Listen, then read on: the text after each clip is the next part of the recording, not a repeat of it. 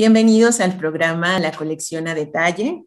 La charla de hoy que ofreceremos se titula Tlaloc, el mural, y nos da muchísimo gusto recibir a la doctora María Elena Ruiz Calut, quien esta tarde compartirá con nosotros detalles sobre esta obra que forma parte de la colección de arte prehispánico del Museo Amparo y que se puede disfrutar en la sala 4 de El México Antiguo. María Elena, bienvenida. Muchas gracias por estar con nosotros esta tarde y compartir estas investigaciones que tú has realizado. María Elena es doctora en Historia del Arte por la Universidad Nacional Autónoma de México, investigadora del Instituto de Investigaciones Estéticas en el área de Arte Indígena de América y profesora de los posgrados en Historia del Arte y de Estudios Mesoamericanos de la UNAM, en los que ha colaborado también con la dirección y tutoría de tesis. Desde el año 2008 ha sido responsable de cinco proyectos internacionales y colectivos de investigación interdisciplinaria que giran en torno a Tlaloc, al culto al agua en las sociedades indígenas americanas y a la imagen sagrada del jaguar y la serpiente como recurso social, temas abordados en los seminarios que coordina, así como en sus publicaciones. María Elena, bienvenida. Muchas gracias por aceptar esta invitación y por compartir el contexto de esta pieza que, como comenté hace un momento, tenemos en exhibición y que forma parte de la colección de arte prehispánico del Museo Amparo. Recibimos también con muchísimo gusto a todas las personas que siguen esta transmisión en vivo a través de Facebook. Les recordamos que al término de la charla podrán hacer comentarios y preguntas justamente en la sección de comentarios de Facebook. Pues comenzamos. Bienvenidos nuevamente a todos. Adelante, María Elena. Muchas gracias, Silvia. Muchas gracias por la presentación. Eh, el Museo Amparo, pues, parte de nuestras historias en la labor y el quehacer de compartir conocimiento y de poner a discusión cuestiones que tienen que ver precisamente con nuestro eh, pasado indígena. ¿Cuántas veces no estuvimos en el propio museo, yo acompañando a la doctora de la Fuente en los recorridos tan hermosos, viendo cada una de las, de las piezas y por supuesto los murales teotihuacanos que albergan el museo, pues siempre fueron de, de nuestro interés. Después presente también en los cursos que habían organizado. Así que de nuevo en esta eh, modalidad virtual que nos atañe a todos ahora. Te doy las gracias por la invitación y efectivamente, pues eh, nos tocó la fortuna de hablar sobre eh, una de las, de las pasiones que tenemos desde hace varios ah, años, compartida en, en, lo que es el seminario de Tlalo con investigadores del propio instituto de la universidad, con con arqueólogos, con astrónomos, con historiadores del arte. Así que nos vamos a acercar ahora, vamos a aterrizar esta pasión en, un mural excepcional que es el que está en la sala C, el museo. Y eh, quisiera pedirle para empezar al arqueólogo Jesús Torres que me apoyara con la presentación de un breve video.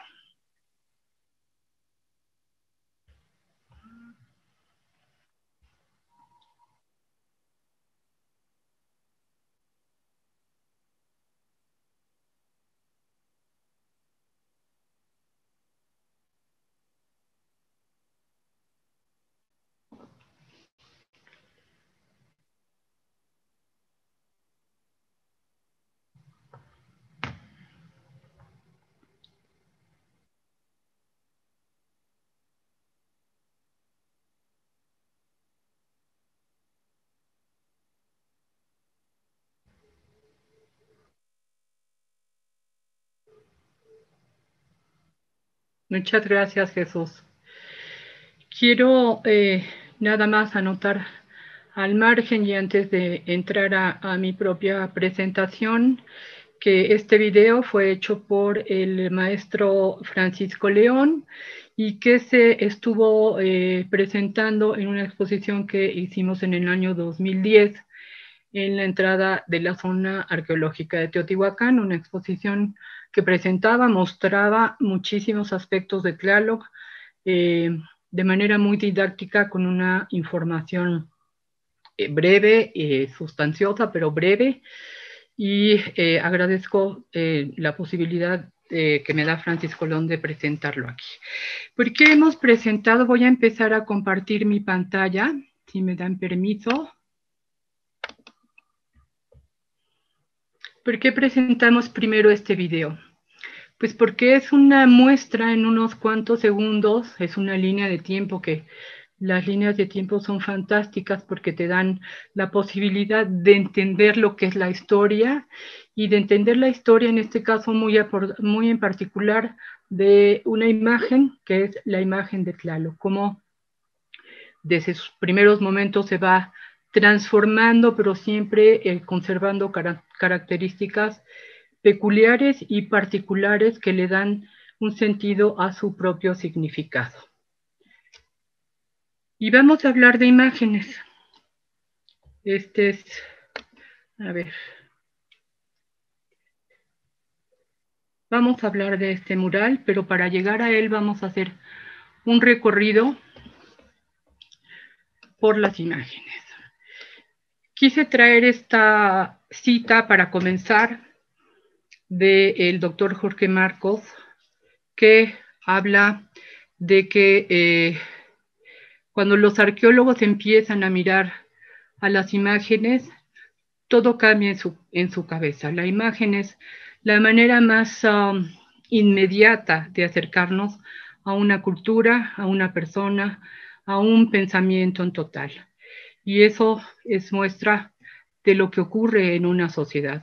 Las imágenes que son producto de su forma de pensar, de sentir, de apropiarse del mundo, pertenecen a una sociedad y eh, también a un estilo. Pero en todo caso, en lo que se refiere a la imagen de Tlaloc, eh, vamos a ver a lo largo de esta presentación cómo la obra de arte nos sirve como esta herramienta especial que va a permitirnos entrar en el modo de pensar de otras ah, sociedades.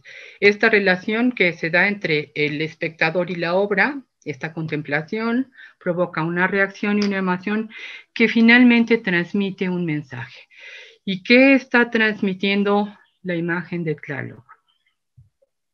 He puesto también este pensamiento del doctor Rubén Bonifaz, que es contundente porque nos da una idea completa de lo que ha sido Tlaloc en la historia de los pueblos mesoamericanos y tal vez más, ah, eh, más americanos, más continentales. Hoy nos vamos a quedar en Mesoamérica y dice el doctor Benifaz precisamente que existe en Mesoamérica, y se, imaginen este territorio que está en un tiempo y en un espacio específico y que define nuestra indigenalidad, nuestra manera de pensar como culturas indígenas. Dice el doctor Bonifaz que existe en Mesoamérica una deidad que pierde su memoria en el tiempo. Eso es maravilloso. Vamos a ver por qué él está aseverando esto.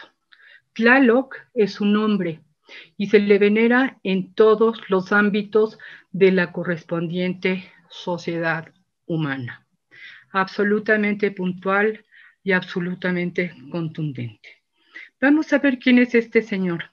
De hecho, em, nuestra exposición en Teotihuacán daba pensamientos o herramientas muy puntuales para poder alcanzar de mejor manera a comprender quién es Tlaloc. Vamos a reconocer a Tlaloc por ciertas características muy particulares.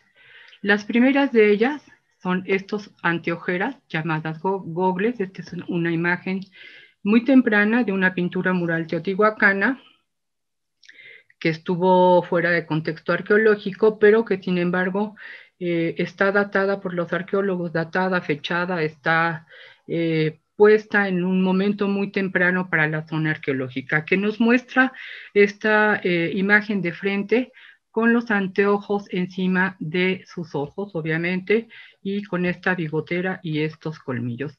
Es decir, las anteojeras, las llamadas eh, anteojeras de Tlaloc, van a ser uno de estos elementos diagnósticos que nos van a permitir no nada más a nosotros, sino a todas estas sociedades que, que permanecieron, digamos, unidas por un pensamiento similar, les permitieron conocer y reconocer que esto identificaba a un personaje, a una deidad, a una entidad sagrada, como ustedes quieren llamarlo, muy particular, y que los unió a lo largo del tiempo.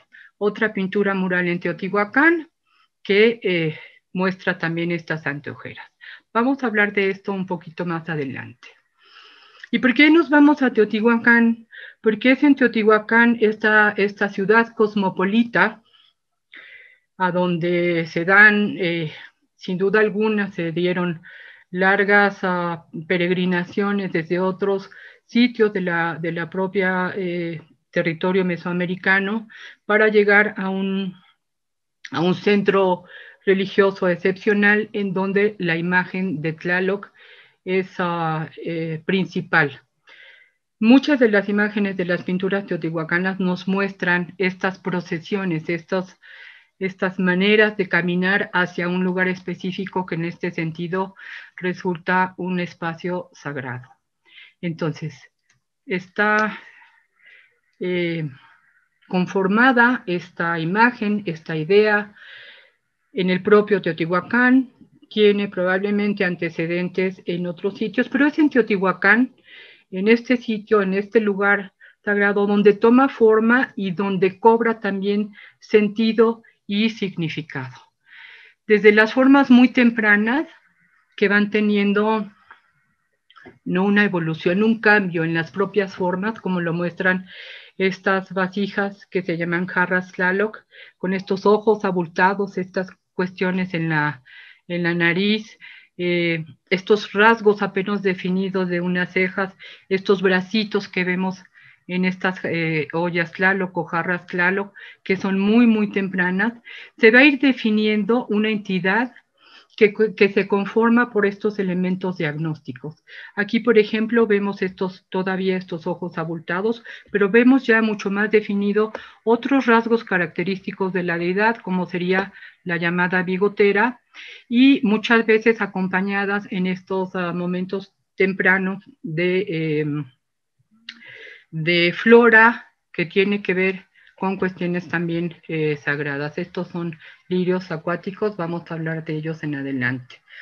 En um, las excavaciones que todos uh, supongo que sabemos que se han llevado a cabo desde hace poco más de 10 años en el túnel de la, de la eh, pirámide de la serpiente emplumada, pues han aparecido restos y restos y restos y restos de estas ollas Tlaloc.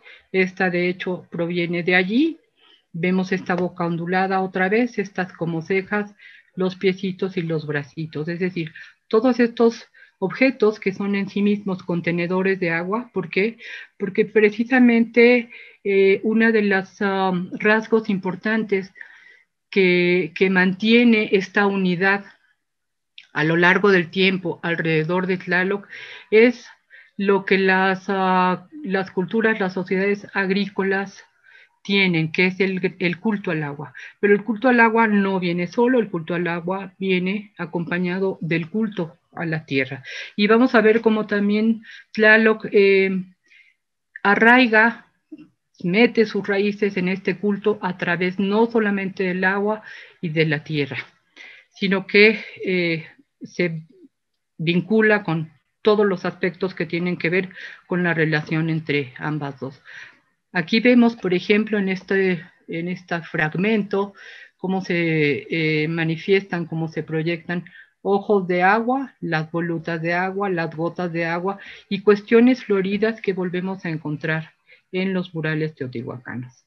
Está un poquito lento mi, mi computadora, pero vamos adelante con Tlano. Vamos a ver una serie de de representaciones de Tlaloc en el momento que ya están integradas como imagen en sí misma, que ya tiene una carga simbólica y una carga significativa que, que le dan esta connotación de eh, entidad sagrada, porque eso es lo que es.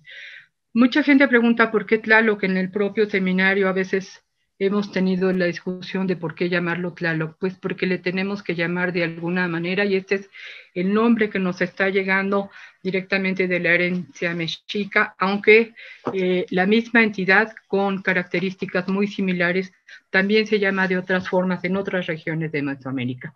Vemos aquí otra vez estos elementos, los gogles, las manos vinculadas con el agua, vean las gotas como sale cómo sale del personaje, la, bigotera y eh, los lirios. Otras, estas son almelas, son piezas hechas en, barro, más o menos grandes, pero son, son, maravillosas porque nos están hablando de todo un contexto que tiene relación con lo acuático, es decir, volvemos a vincularlo directamente con lo que sería el culto al agua en la ciudad de Teotihuacán, que desde mi punto de vista eso es, está erigida para hacer este gran culto al agua. Vamos a la pintura mural. Tlaloc está presentando los mismos elementos acuáticos, tanto en las imágenes hechas en barro como en la pintura mural. Esta es una pieza de ónix en donde a la deidad se le, se le vincula con, eh, con el planeta Venus. ¿Qué otra cuestión nos sirve como un elemento de identificación a la hora que estamos viendo imágenes, casi, bueno, en muchísimos museos del mundo, el Museo Amparo es afortunado por tener estos, estos murales, pero créanme que si uno inicia la búsqueda, nosotros tenemos miles de registros de piezas Tlaloc en nuestro proyecto, no solamente de vasijas, sino también eh, de murales y de los sitios arqueológicos. Pero una manera digamos, muy didáctica de entender lo que ocurre con la imagen de Tlaloc es ver esta multiplicidad de soportes en los que está representado. La pintura mural es un lenguaje por excelencia y Teotihuacán es el sitio por excelencia también que recuperó o que, resguardó, que conservó sus muros pintados como legado y como parte de sus costumbres eh, sociales para eh, avanzar en su pensamiento. Esta eh, imagen nos muestra no solamente el, el anteojo, la anteojera, sino también vamos a empezar a ver que hay una continuidad en la manera de representar la boca o la bigotera de Tlaloc. Y aquí está saliendo como una especie de vírgula de la palabra, este elemento que vuelve a ser un elemento florido. Eh, en Teotihuacán hay una serie de murales que se da, digamos, en la, historia intermedia de la ciudad, que son murales pintados en, rojos, en tonos de rojos y de tonos de rosas. Estos murales que estamos viendo son así, aunque vamos a ver también una policromía. Aparte de la bigotera, las anteojeras, Tlaloc hay también llega un momento en que empieza a presentar una lengua bífida que lo vincula más con la tierra. Es decir, es, una imagen más telúrica, más ah, serpentina y eh, las lenguas bífidas de Tlaloc se pueden también encontrar en los murales, como en este caso. Yo no sé si ustedes me ven esto, pero creo que no. Déjenme moverlo. Como en este, en este caso, es una reconstrucción de un altar en Atetelco, en donde perfectamente podemos ver todos estos elementos que hemos venido eh, señalando, apuntando, para ir reconociendo que existe un, patrón, un modelo, pero que tiene que ver mucho más, no con la manera de representarlo, sino con la esencia de la, de la figuración que va involucrada o va de la mano con eh, su significado. Una pintura más, esta de tonos de rojos, en donde volvemos a ver esta imagen aquí en la, en la cenefa, este tlalo con su bigotera, con sus, dientes, y vinculado en este caso a cuchillos de sacrificio.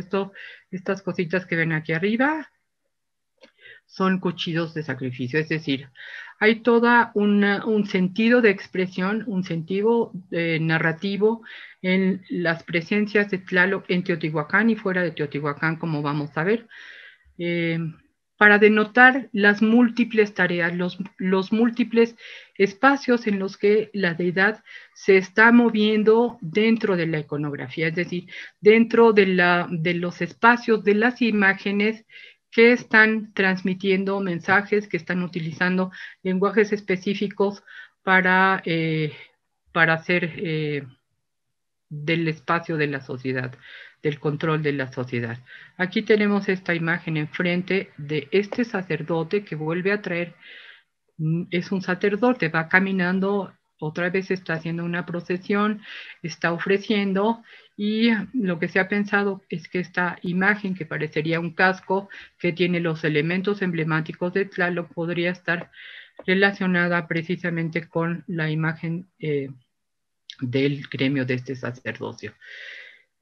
Esta es otro personaje que también es un sacerdote, un sacerdote de Tlaloc reconocido otra vez por las anteojeras, por los colmillos, por la eh, bigotera o, por la boca, pero esta vez, como yo les hablaba hace ratito, está vinculado directamente al ejercicio de la agricultura, es decir, una sociedad que está utilizando al personaje, que está utilizando a la deidad en función de lo que quiere eh, comunicar para, en el caso de la agricultura, para eh, las buenas lluvias, las buenas cosechas y demás.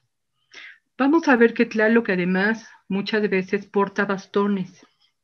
Tiene un bastón, la mayoría de las veces tiene este bastón en forma serpentina, aquí lo vemos perfectamente, como tiene forma de serpiente, y que está vinculado con dos cosas fundamentales también relacionadas con la propia identidad de la deidad.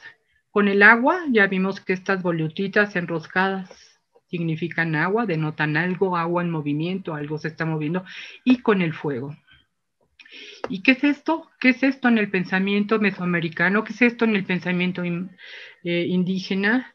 Es el gran sentido de equilibrio que tiene eh, por sí mismo el, mundo, pero que este sentido de equilibrio tiene que ser cuidado, tiene que ser conocido, reconocido, porque eh, son los grandes opuestos complementarios, el agua y el fuego. Entonces, vinculados a Tlaloc también están apareciendo en múltiples soportes, me refiero a vasijas, a pinturas, a esculturas, en fin, a textos están apareciendo estos opuestos complementarios que nos dan la idea de esta búsqueda, de esta necesidad del equilibrio. Me voy a ir un poquito más rápido.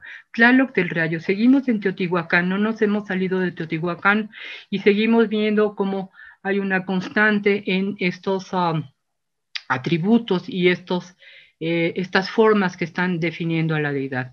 Aquí el Tlaloc de frente, nada más visto su torso con un gran rayo, aquí lo vemos perfectamente cómo está tomado de sus, de sus manos, otra pintura, y esta también un Tlaloc de perfil que está tomando con su mano el rayo, pero que tiene de nuevo una, eh, una flor en su boca. Un lirio acuático, sabemos de las propiedades enteógenas, eh, psicotrópicas, como le queramos llamar, pero que son eh, alteradores de conciencia de, los, ah, de, los, de las raíces, de los rizomas, de los lirios acuáticos. Entonces, muchas veces claro que está vinculado, ligado mm, concretamente a esta, a esta planta. Aquí tenemos otra representación, pintura mural, el, dibujo de arriba es el dibujo de constructivo, de este sacerdote de Tlaloc, este Tlaloc que va caminando, que está enfrente de una especie de umbral, si ustedes lo ven aquí, está al frente de esta que puede ser una, especie de, puerta hacia otro, hacia otro espacio. El ah, personaje está caminando, se ven las huellas de sus pies por aquí abajo y está vinculado otra vez a estas estrellas de cinco puntas como vimos hace ratito. Y quiero recordarles con este fragmento de imagen eh, aquello que vimos al principio, principio de estas ollitas Tlaloc como contenedores de agua. Tlaloc se acompaña, una persona muy ocupada, tiene que estar cuidando los campos de la siembra, eh, mandando granizo, rayos, etcétera, etcétera. Está vinculado, digamos, a, unos personajes que se llaman los tlaloques, que son en sí los que eh, le ayudan a hacer la lluvia. Y estos tlaloques tienen estas jarritas con las imágenes de Tlaloc. ¿Se acuerdan que vimos unas jarritas, unas um, vasijas que eh, tenían la propia imagen de Tlaloc, pero que en sí mismos son contenedores? Bueno, de esta olla Tlaloc, aquí tenemos a este personaje que ya vimos que trae el rayo, que trae su flor, esta olla Tlaloc que tiene su uh, tocado de tres picos, está saliendo agua. Otra vez está vinculado aquí con los grandes chorros de agua que provienen de las jarras tlalo, que son las que, las que rompen, las que quiebran los tlaloques para hacer llover y las que producen los ruidos de los truenos y demás. Recordemos esto. Um, el pensamiento abstracto también ocurre en las sociedades indígenas. El pensamiento abstracto también se vincula a los elementos mínimos que son los que hemos venido viendo de precisamente de recuperación de una realidad significativa para participarla en un lenguaje, hacerla participar en un lenguaje visual de otra manera. ¿Qué tenemos aquí? Una enorme almena de piedra, seguimos en Teotihuacán, encontrada eh, al pie de la pirámide del Sol, en donde se ve esta bigotera, vamos a recordar los colmillos de Tlaloc y la gran lengua bífida. Es decir, si pensamos que las montañas son los altepes, es decir, esta conexión que existe entre, entre los tres niveles del universo, que son los niveles del cielo, la propia tierra y los niveles del inframundo, este es un eje que está conectando precisamente todo lo que existe, todo lo que se conoce, todo lo que podemos explicar y aquello también que no podemos explicar, y para, para lo cual eh, se construye este pensamiento religioso para poder entender el papel del hombre mismo en la tierra y su vinculación con el resto de lo que le rodea. Entonces, esta almena quien esté eh, en Teotihuacán en el año 300, 350, vaya a la pirámide del Sol y ve esto al pie de la montaña sagrada, que es la propia pirámide, que es el Altepet, es el cerro sagrado, bueno, está entendiendo que ahí hay una fuerza muy, muy poderosa que se llama Tlaloc. Pero Teotihuacán es el gran difusor de muchas cosas entre ellas de de muchas cosas, de conocimientos específicos, de materiales, de formas de hacer las cosas, de formas de trabajar obsidiana, de formas de trabajar ciertos tipos de, de barros. Es decir, Teotihuacán sabemos que está teniendo presencia, es como este gran difusor y irradiador de, de cuestiones que son eh, pues propias de la religión y que en muchos sentidos están tendiendo los lazos que van a unir el propio pensamiento eh, de estas sociedades. Entonces, ¿qué ocurre? Que más allá de Teotihuacán está apareciendo Tlaloc. Este Tlaloc conformado como tal en la ciudad sagrada de Teotihuacán va a aparecer en, yo les traje unos cuantos, pero créanme que está, es el omnipresente. Eso es una realidad. Donde quiera que volteamos en las sociedades indígenas del pasado, ahí está presente. Vamos a Palenque, vean aquí, en esta, en esta maravillosa eh, creación de barro, cómo está el personaje, este, este gobernante, este señor sentado sobre un banco que tiene la imagen de Tlaloc. Vean, vamos a ir, lo voy a a pasar para que lo disfruten como, como yo lo hago. Otra vez una pieza de, de palenque en donde volvemos a... Es otra manera, son otras manos. Las manos de, de palenque, los, los artistas de palenque trabajan con una suavidad, es una de las características del arte palencano, la suavidad de las formas, no es la rigidez de Teotihuacán. Sin embargo, ahí está presente vinculado a las serpientes. Seguimos en el área maya, en Copán. Copán tiene todo un barrio, por decirlo de alguna manera, en donde eh, Claro que está presente así de esta manera, con unos ah, dientes descarnados, con la lengua bífeda y con eh, las anteojeras. Otra expresión mínima, otro, otra manifestación de este, de intelecto, de, esta, de este proceso creativo, en donde lo mínimo está sirviendo para otorgar un significado completo. Vinculado al poder, obviamente, en, ah, en bueno, en este tipo de sociedades, el poder es el que está, eh, digamos, ejerciendo los controles a través de las imágenes que tienen esta fuerza, este poderío y que se manifiestan en lo que la gente puede ver. Aquí, a lo maya, ahora sí que a lo maya tenemos la representación de Tlalo con su lengua en estas eh, dos tocados. Aquí de nuevo estamos en el Aramaya, Yaxchilán, en Copán otra vez, Yaxcucmón, que presenta como gobernante algún elemento, y en este caso es el elemento que le da la fuerza, esta fuerza que, bueno, no sabemos, es el, es el ver, el, es el estar, el estar presente a través de la mirada como eh, cabeza de una sociedad. Seguimos en el área maya, vean ustedes las distintas formas de representar a Tlaloc, pero siempre constantes estos elementos que ya sabemos que son diagnósticos para acercarnos a la imagen. Este un maravilloso eh, ejemplo de cerámica de Tikal, en donde aquí está el, el señor pintado de negro, como el que vimos al principio, con sus dientes, sus colmillos, su bigotera, sus anteojeras y con sus báculos. Aquí no tiene los rayos, sin embargo, tiene, está saliendo de una cabeza de serpiente y tiene sus dos báculos en, bueno, un báculo en cada, en cada mano.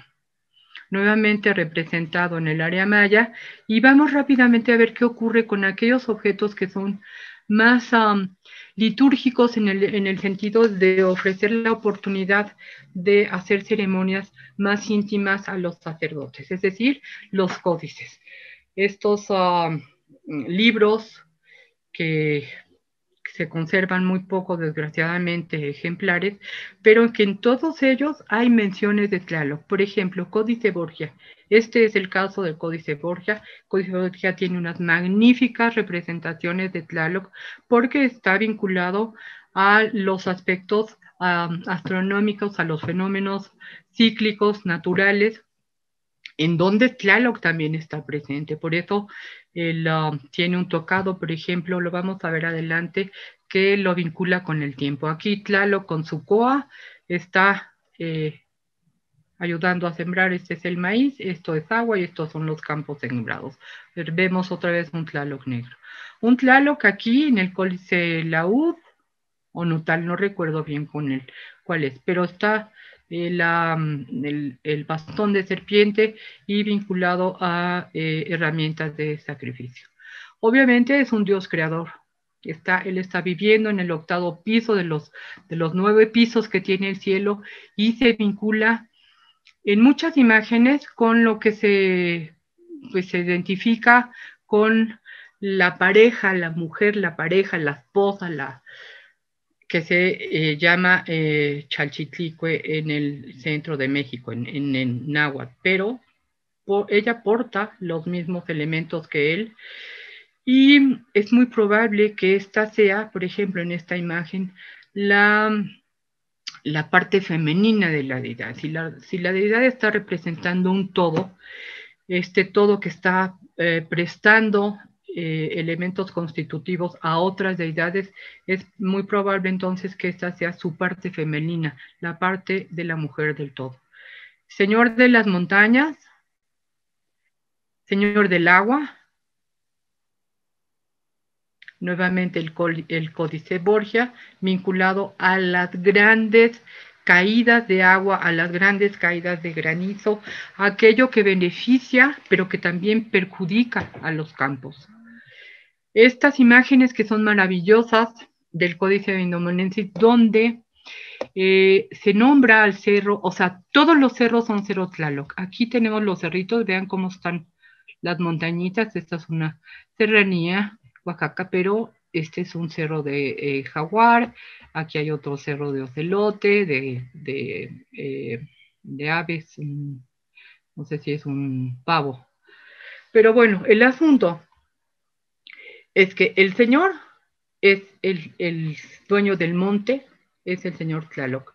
De ahí salen las aguas, las aguas que son femeninas, brotan y corren por debajo de la tierra, de ahí surgen nubes, de ahí surgen las montañas, es la gran conexión entre el inframundo y los pisos superiores. Todos estos son imágenes que denotan esta presencia totalmente vinculada y que dan nombre a los espacios sagrados en estas sociedades. Obviamente Templo Mayor no puede escaparse a todo ello. Sabemos eh, los dos templos gemelos, uno a Huachilapostli, Huichilopostli, el otro a Tlaloc, dedicados en un recinto totalmente eh, ceremonial. Aquí eh, Tlaloc surgiendo del inframundo, esta boca abierta, las aguas del inframundo, y códices más ah, cercanos al momento de conquista que nos denotan también la presencia de Tlaloc. En la piedra, Xochicalco. Fuera de Teotihuacán, Guatemala, una gran producción de, de braceros tipo teatro, es decir, de estos artefactos en donde se quema copal, en donde la intención de quemar el copal es la, trascendencia del humo, la, la presencia de eh, los objetos en ah, rituales funerarios, en donde también está presente Tlaloc. El Salvador. El Salvador también en sitios como Las Marías eh, y como Cihuatán está presente Tlaloc en múltiples, en múltiples, eh, en múltiples lugares, digamos. Pero vamos a ver qué está pasando hoy en día. Tlaloc está, decíamos, vinculado a los rituales, al agua, al agua, a las montañas y a las peticiones de lluvia. Vamos a ir a la parte indígena de eh, nuestro México, en donde Tlaloc se vincula a estas ceremonias de petición de lluvia de muchas maneras. Aquí vamos a revisar solamente esta que ocurre en el estado de Guerrero, en Cihuatán, en donde hay un pleito entre los jaguares para eh, solicitar que haya una buena abundancia de eh, lluvia para las cosechas. Bueno, todos creo que conocemos este tipo de ceremonias que son eh, absolutamente reales. ¿Qué pasa con las imágenes de Tlaloc ya cercana, no a las prácticas religiosas, rituales, sino a aquello que tiene que ver con la imagen plasmada. Vamos a la UNAM, al edificio de la biblioteca, en donde, pues claro que está presente en la parte superior, recuperado por el arquitecto O'Gorman, de lo que hemos visto de las imágenes, y vinculado también, esta es la, la fuente, vinculado también pues al agua. Diego Rivera en el Teatro de los Insurgentes, pinta Tlaloc, o sea, Tlaloc sigue presente. Hay tinacos, marca Tlaloc, si uno busca Tlaloc en uh, Diego Rivera, aquí está el cárcamo de la entrada del agua a la Ciudad de México, Ciudad Universitaria, un mural de Francisco Epens, donde volvemos a recuperar esta idea del vínculo de Tlaloc con la agricultura. No sé cuánto llevo, no voy bien de tiempo. Eh, no podemos dejar pasar el Tlaloc, la llegada de esta eh, imagen totalmente teotihuacana, geométrica, pesada, al que le decimos Tlaloc, que bueno, hay una serie de discusiones alrededor de la propia identidad. Pero para nosotros, este que tiene un contenedor, esta, esta pieza tiene una una vasija, una especie de vasija en la parte de arriba, es decir, sí recibe agua de la lluvia, aunque al parecer no estaba de pie. Ya estaban haciendo esto. Art Nouveau, en la calle de Ayuntamiento ¿Y qué pasa hoy en día? Rápidamente vamos a, ver cómo sigue siendo Tlaloc identidad, Tlaloc sacado de los códices, Tlaloc sacado de aquello que la gente conoce fundamentalmente vinculado a su aspecto acuático. Vean cómo está rodeado de flores, cómo se ofrecen gogles para los niños marca Tlaloc, burbujas, como artistas plásticos están recuperando también en estos momentos parte de esta identidad. Caricaturas, bienvenido al Tlalocan. El Tlalocan es el, es el, lugar de Tlaloc, el paraíso de Tlaloc, entonces vinculado al sacrificio, si un rayo te mató, cualquier cosa que tenga que ver con el agua, está vinculada con Tlaloc. Tlaloc el Paca, aquí les pongo este ejemplo porque el artista de esta caricatura saca, fíjense cómo está su trajecito aquí, pues lo saca del Códice Durán, una magnífica representación de, eh, del sacerdote y de la entidad de Tlalo, eh, eh, puesto en su espacio ceremonial. Aquí está las almenas de la plaza, en fin, los elementos arquitectónicos que, lo acompañan en los espacios ah, de las ciudades. 100% contra agua. Queremos meditar, también tenemos a Tlaloc. Y toda esta corriente de personas que viven fuera de nuestro país y que se identifican ampliamente con los íconos de eh, la religiosidad mexicana y de la religiosidad indígena. Sabemos, uno de ellos es la Virgen de Guadalupe, por supuesto Quetzalcoatl y no cabe duda que Tlaloc también ocupa aquí un lugar importante. Caricaturas, nos llueve, nos inunda, esto no es China, esto es una caricatura de hace unos, de hace unos años en la Ciudad de México. Y bueno, pues en estos días así andamos con el señor Tlaloc. En esta casa, pues vemos a Tlaloc de esta manera. Tlaloc del Templo Mayor, también eh, presente en múltiples vinculaciones de todo tipo para eh, otorgar esta, este rasgo de identidad con la indigenalidad de nuestro país. Desde la colección del Museo de Amparo.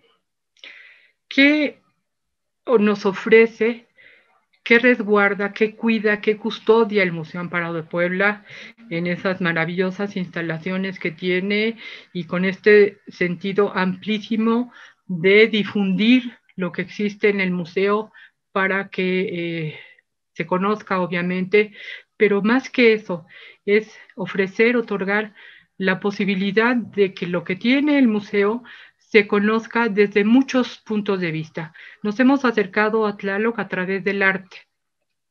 No vimos, obviamente, por cuestiones de tiempo, eh, toda la narrativa que está alrededor de la deidad, sino nos enfocamos en la materialidad de la imagen, es decir, en los soportes, en los objetos físicos, como fueron las vasijas, como fueron las pinturas, como fueron las esculturas.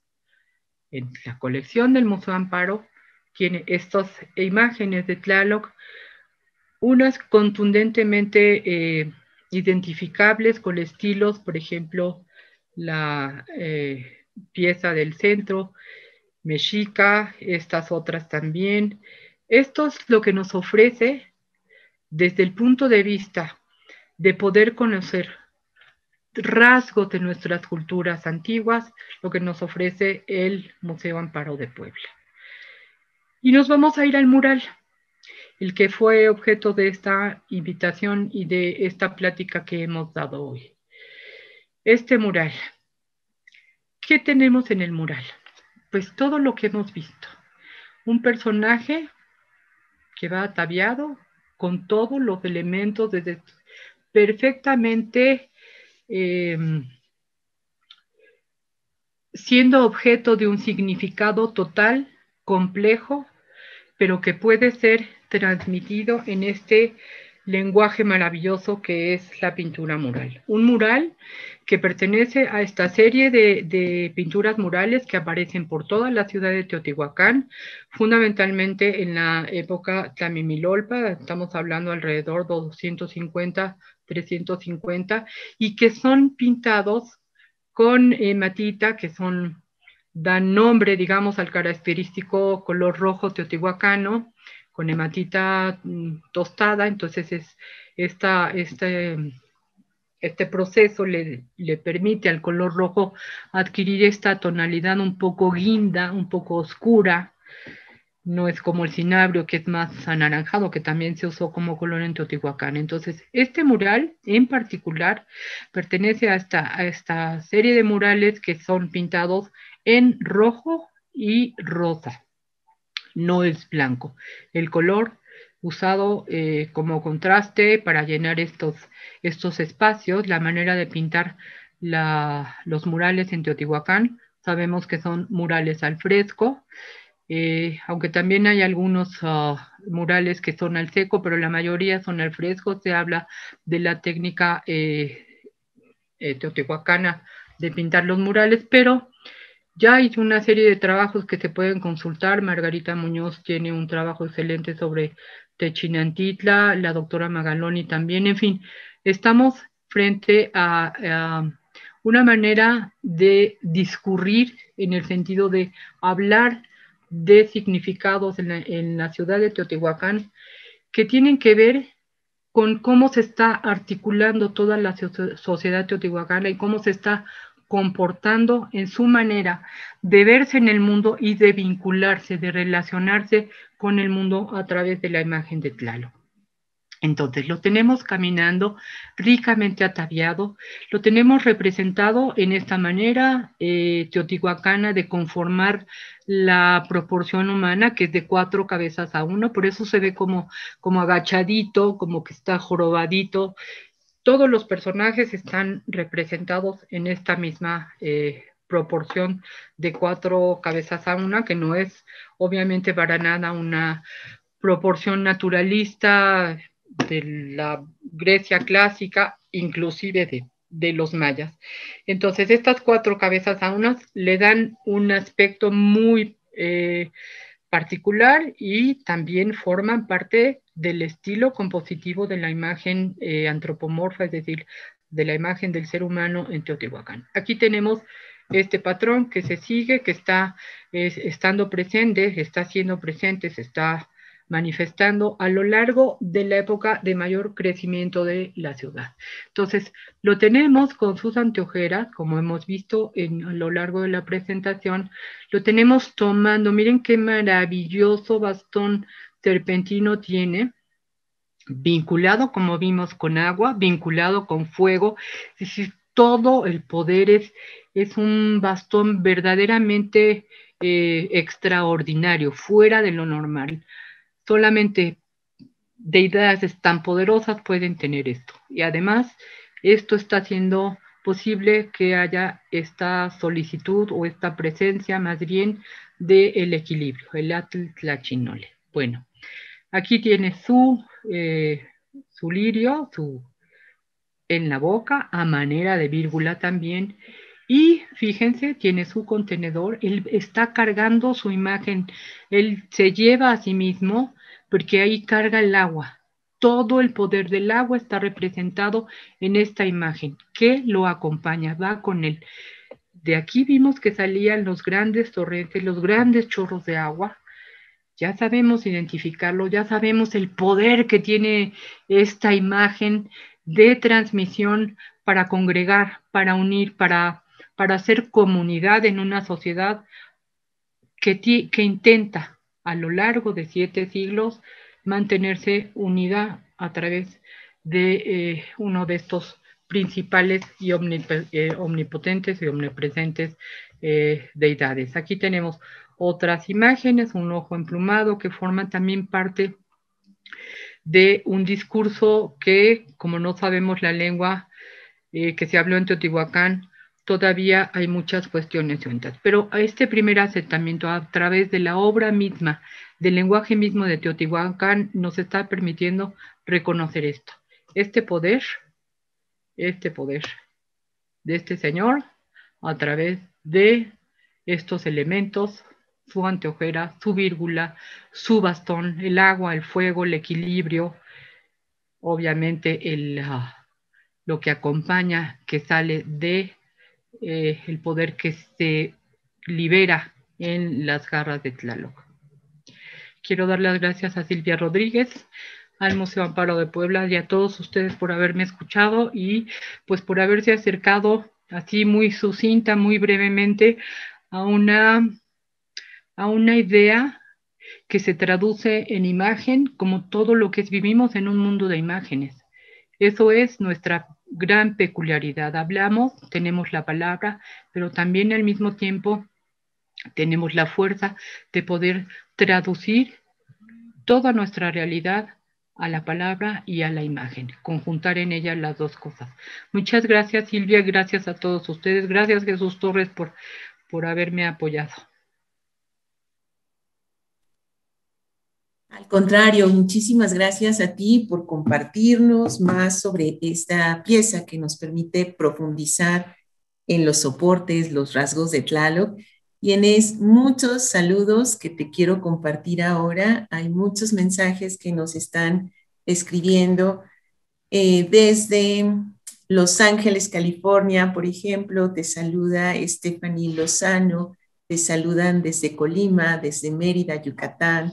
Te mandan saludos también de Tecamachalco, Puebla, desde La Laguna, Ecatepec de Morelos, Estado de México. Eh, tienes muchos saludos también de Cancún. Georgina Briviesca te dice felicidades, Mari. Eh, Carlos Ánimas, buenas tardes, saludos desde Puebla. Y vamos a pedirles a las personas que quieran hacer sus preguntas que nos las compartan en la sección de comentarios de de Facebook, por favor, para que podamos hacérselas llegar a la doctora Ruiz Galut. Y tenemos una primera, eh, Mari, que te comparto, y es justamente, eh, nos solicitan si puedes compartir un poco más de información sobre el uso del rojo teotihuacano y sobre eh, otros ejemplos de esta pintura mural como la que tiene el Museo Amparo en resguardo y otros ejemplos que pudieras mencionar. Y con mucho gusto.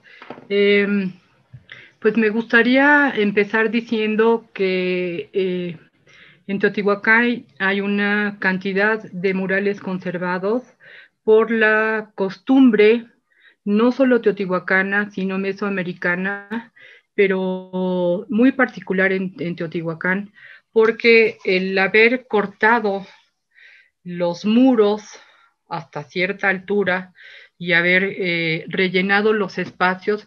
Finalmente el espacio también es sagrado. Finalmente el espacio modelado arquitectónico también es importante. Entonces los teotihuacanos, decía, como otras culturas, cortaron sus muros, rellenaron sus cuartos y esa práctica hizo que se conservaran los murales. Gracias a ello sabemos, bueno, tenemos ejemplos de murales de todas las etapas históricas de la ciudad, toda, toda la vida casi completa de, bueno, en las últimas temporadas, temporadas no, sino es una serie de televisión, las últimas etapas están eh, perdidas porque hubo eh, la práctica de la de cosechar, de sembrar y demás, y se perdieron mucho, se perdió mucho material, pero, pero sí eh, tenemos, gracias a ello, un museo de la pintura mural teotihuacana que pueden eh, visitar cuando vayan al sitio. Ya está, ya está abierto Teotihuacán, que está dedicado a la doctora Beatriz de la Fuente, porque ella tiene una obra titánica de, eh, comenzó, ella la comenzó hasta el momento de su partida, em, sobre la pintura mural prehispánica en México. Y los murales en rojo que decía yo que son en rojos, en tonos de rojos y rosas, aparecen en la ciudad también asociados a los pórticos y asociados a los cuartos interiores, fundamentalmente. Eh, la hematita es el color utilizado, los pigmentos son de origen mineral. Para referir más información, yo les hablaba de esta obra en el, um, en el trabajo de la doctora Fuente de Ana Galoni, pero hay ya varias uh, tesis hechas alrededor también de la, de la importancia de la materialidad en lo que existe, porque finalmente en estas um, culturas indígenas lo material también tiene un alma propia, tiene un sentido pintar con un color o con otro color, tiene un significado usarlo de una manera o de otra manera. Lo que sabemos es eso, la hematita está usada como color que es, como pigmento rojo que es, en, esta, en ese eh, periodo fundamentalmente de la ciudad de Teotihuacán. Y pues aparece en muchos, en otros museos del mundo también hay eh, ejemplos, ejemplares de estas pinturas. No sé si contesté la, pregunta. Sí, muchas gracias. Al respecto, igual Claudia Marín eh, pregunta, ¿es decir que la monocromía en rojo hematita tiene que ver con la fase mimilolpa en que se elaboró? ¿Por qué no usar azul maya? Porque no, el color no significa lo mismo. El color es importante. El color, o sea, la colorimetría en las sociedades prehispánicas también tiene un significado. De manera muy común, un lugar común que también tiene sentido, es decir, que eh, o pensar que el rojo tiene que ver con la vida porque significa la sangre. De hecho, muchos de los murales eh, que están en rojo, que se vinculan con el sacrificio, porque por ejemplo, eh, coyotes y jaguares tienen corazones cortados o lo que se ha identificado como corazones cortados frente a sus fauces, están escurriendo sangre, están escurriendo chorros de sangre. Entonces, allá hay una intención de usar el color no solo como color, sino color que conlleva un significado. Es decir, todo añade a la lectura, todo añade al, contexto completo de la obra de arte, del mensaje que nos están queriendo dar. Bueno, no nosotros, los que nos legaron. Muchas gracias, Mari. Armando OM pregunta respecto al bastón de mando. ¿cuál sería una interpretación de que este personaje ostentara un símbolo de guerra? La serpiente es un símbolo de muchísimas cosas. Puede verse como un símbolo de guerra, de hecho hay eh, pues muchas imágenes de Tlaloc que están vinculados. Tlaloc es una deidad que también está vinculada obviamente con la guerra.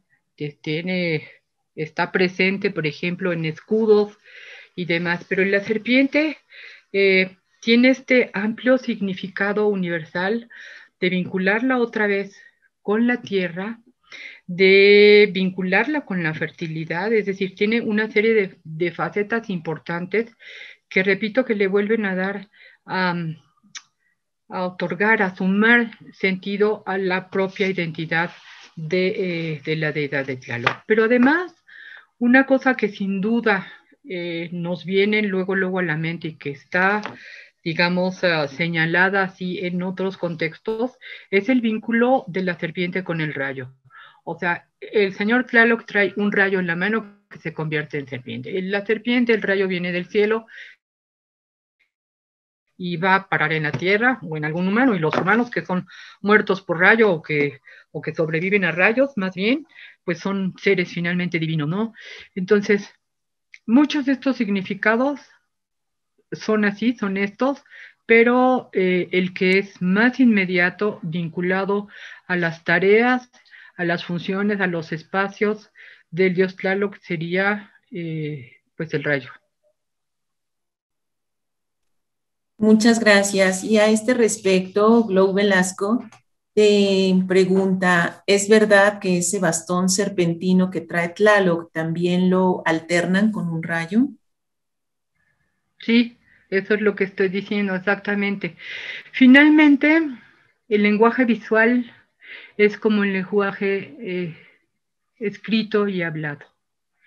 Usamos metáforas para decir una cosa por la otra, para hacer comparaciones, para dar a entender de otra manera diferente aquello que queremos decir. Eso amplía todos los sentidos. Entonces sí, evidentemente, tiene razón. Es el rayo. Es la serpiente. Son las dos cosas. Vienen con el agua, vienen con la lluvia, van a dar a la tierra. En el, mm, en el códice Borgia hay unas imágenes muy impresionantes en donde está Tlaloc, ese Tlaloc que vimos que tenía la coa y que estaba cortando los elotitos.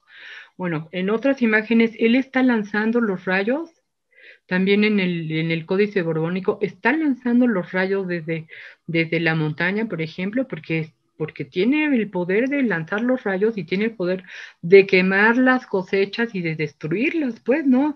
Es, eh, volvemos a la idea de un equilibrio, no todo es bondad, no todo es beneplacencia, hay, hay una parte de las deidades en que, bueno, pues están enojadas, por eso puse las caricaturas, sí, efectivamente, el rayo es destructor, el granizo es destructor, pero están dentro del, del ámbito de sus quehaceres.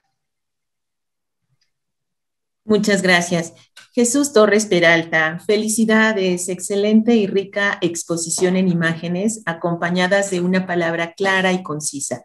La pregunta, ¿Tlaloc tiene que ver con el clima, la, agricultura y el poder, según nos explicaste? Por lo tanto, ¿también tiene que ver con el manejo del tiempo? ¿Hay algo en la imagen de Tlaloc con el tiempo? Gracias, Jesús. Gracias porque esa parte ya no lo expliqué. Obviamente Tlaloc está presente, es que Tlaloc se hace, se acompaña de todo. Tlaloc está presente en los calendarios. El conteo del tiempo tiene que ver con las cuestiones eh, de los fenómenos naturales, el día, la noche, lo sabemos, el, el cómo contamos los tiempos o cómo se contaron los tiempos. Tlaloc es un día del calendario, pero también Tlaloc tiene que ver con la creación del tiempo. Él lleva un símbolo eh, en su tocado, en muchas de las representaciones que, que le dan también identidad, que aparece también, por ejemplo, en los códices, que es un triángulo eh, encajado, digamos, sobre un, sobre un trapecio. Es el, el símbolo triángulo trapecio. Eso tiene que ver, eso significa el tiempo, eso es el tiempo. Y esta parte del significado eh, le dan la calidad a Tlaloc de ser un Dios creador. Ese vínculo con el momento, con el manejo del tiempo, le dan esa calidad de, eh, ser una de los, de los dioses creadores. Por eso es, está en todos lados. Gracias, Jesús. Gracias, Mari. Y Claudia eh, te pregunta si hay alguna imagen en Teotihuacán en donde aparezcan Huehueteot y Tlaloc como puestos complementarios. Así es, es una imagen, es una escultura eh, teotihuacana que después van a recuperar los mexicas, la quité. Tontamente la quité porque es un, es un brasero del dios viejo del fuego, Fíjense, ¿te acuerdan de la, de la cita de entrada a la plática? Es una deidad que se pierde en la memoria de las sociedades que la están venerando. ¿Y qué más viejo que el fuego? ¿Qué más viejo que el agua? Entonces, claro que vuelve a conjuntar cuestiones que son telúricas de su naturaleza Em, de la tierra con su naturaleza acuática en estas imágenes que son, que son braseros, es decir, llevan un, implemento en la, en la, parte de la cabeza y de la espalda, en donde se quema eh, eh, fuego, se quema copal más bien. Pero los personajes que están representados, que son personajes jorobados, que son personajes ancianos, tienen las anteojeras de Tlaloc y tienen los colmillos y la bigotera. Gracias, Claudia. Muchas gracias. También tienes saludos y felicidades de Isabel Luna de Abril, que te dice gracias por, por tan extraordinario recorrido por la iconografía del Dios de los mantenimientos. Alberto Vera, muchas gracias, excelente ponencia y saludos desde la Ciudad de México. Y también tiene saludos de Bernardo Martínez Ortega y de Aide Chavarría León de la Ciudad de México. Muchas gracias, Mari, por compartir esta charla con nosotros, con todas las personas que siguieron esta transmisión. Antes de cerrar, me gustaría preguntarte si quieres hacer una reflexión final en torno a esta imagen. Sí, sí me gustaría porque um, como estudiosa de las culturas indígenas, sobre todo en mi caso de las culturas indígenas pasadas, creo que tenemos una, eh, un compromiso muy grande, no por propiciar identidades, sino por propiciar eh, y compartir lo que nosotros hacemos a través, yo lo decía al principio, Silvia, pues una de las tareas sustantivas de la universidad es la difusión y la divulgación. La difusión, los, las exposiciones, la divulgación, las, las exposiciones eh, orales, pero pues es como permitir abrir ventanas, permitir abrir panoramas, em, permitir desarrollar sensibilidades y, asombros que a lo mejor están dormidos porque no nos damos, no nos damos nosotros a veces el tiempo, el, interés de hacer este tipo de cosas así, eh, pues de manera eh, muy, muy, muy, muy coloquial, como debe de ser, como es en sí, porque una vez que, que tú te acercas, yo, fíjense, una vez de una, una plática como estas en otro lugar, este, y a la hora me mandan un WhatsApp y me dicen, ya encontré a Tlaloc y me mandan la foto de un jeep, de la parte de frente de un jeep que se veía como antojeras y como los colmillos. Me dio mucha risa, pero eso es una realidad. Yo estoy segura que después de esta plática, este, pues muchos van a aprender que hay este tipo de situaciones que están uniendo a las sociedades indígenas pasadas, pero que también existen en el presente como lazos de unión, porque a veces eso nos falta en un mundo tan perdido en tiendas que se llaman lo mismo por todos lados, en refrescos que se llaman lo mismo por todos lados. No, no nos damos cuenta de que lo que hacemos es perder nuestra visión de pluralidad, de que somos individuos únicos, pero que también somos individuos que pertenecemos, pertenecemos a, a sociedades plurales y eso es la maravilla del ser humano, que puede tener esa pluralidad de pensamiento y de palabra y de acción. Entonces, con eso quiero cerrar y volverte a dar las gracias. Al contrario, nosotros queremos agradecerte por este compromiso en la difusión de los estudios que tú has realizado en torno a esta figura. Gracias, Mari, por siempre tu interés y por siempre compartir, este afán de compartir a este eh, nivel que desglosas de una forma tan sencilla que nos hace reconocer estos rasgos, interesarnos más, profundizar, por supuesto, en la colección y sobre todo eh, tener un contexto mucho más amplio de lo que estamos, de lo que estamos viendo y de lo que nos estás compartiendo. Silvia, tienes otro mural maravilloso maravilloso que no está como muy estudiado ahí, que tiene cuestiones de, de juego de pelota súper loquísimo, súper interesante. Yo recuerdo ya nada más para que nos, para que nos dejes ir, este, la última vez que fui al Museo Amparo, estaba el mural de Tlalo con un video que lo estaba haciendo caminar.